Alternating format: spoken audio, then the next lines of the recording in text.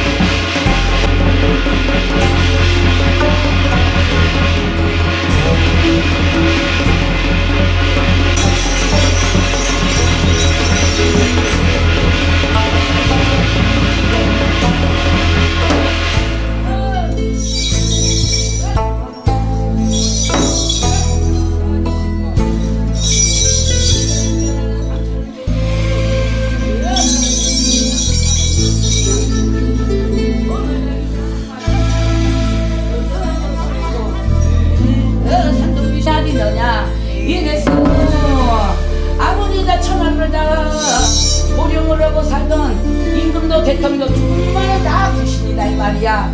이래서 대통령이 죽어도 49제 청도제 길갈름을 하는 것이고 무녀 박수가 아무리 신명이 나서 어부척에 불리고 돌아가셔도 부신이 되면은 다시 아 씻겨서 어, 오늘 다 길갈름에 씻겨서 받아들여야 할머니가 오늘 다 제대로 죽고 싶은데. 앞으로 신어머니하고 산 타고 물 타고 기도 열심히 하고 하루도 기도를 빼먹으면 안 돼. 마음의 기도요, 정신의 기도요. 꼭절 안에서만 기도한다고 되는 게 아니야.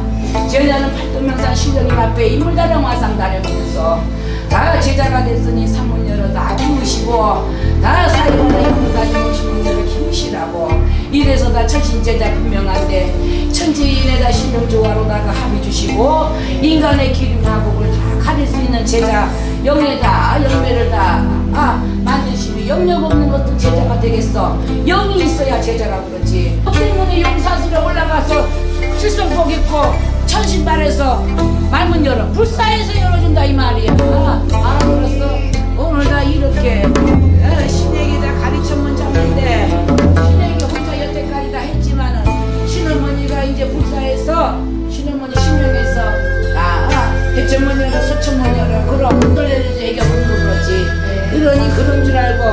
어, 천금이나 만금이나 할머니가 잘 받았어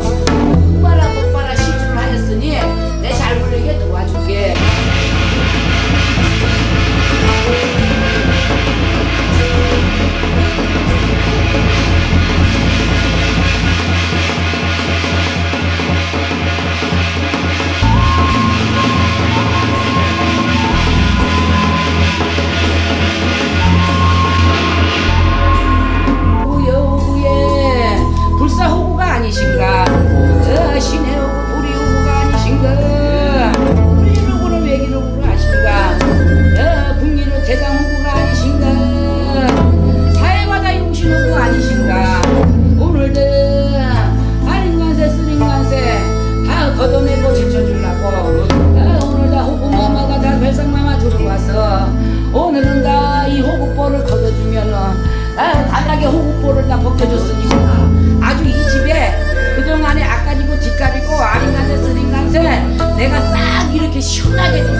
뒷가